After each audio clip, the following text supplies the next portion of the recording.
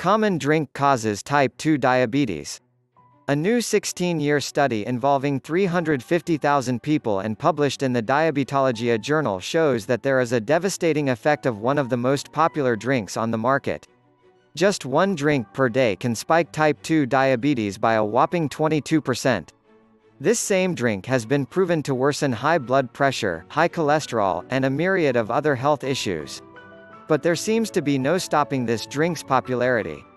Researchers recently conducted an impressive study on about 350,000 people based throughout the UK, Denmark, Italy, France, Spain, Germany, the Netherlands, and Sweden, focusing their attention on the number of sugary drinks that they consumed on a regular basis, among other lifestyle choices.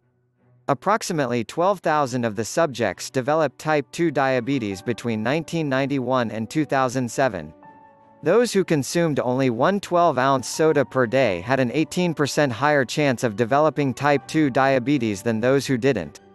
Those who were both overweight and consumed a 12-ounce drink per day were at a 22% higher risk of developing type 2 diabetes. And type 2 diabetes wasn't the only problem sugary sodas delivered. Those who drank two 12-ounce servings per day had an 18% higher risk of having a stroke than those who only drank one serving. Being diagnosed with type 2 diabetes, however, isn't the life sentence that most people believe it to be. Here is the exact 7-step strategy my mother used to completely rid herself of type 2 diabetes. Click below for more information now.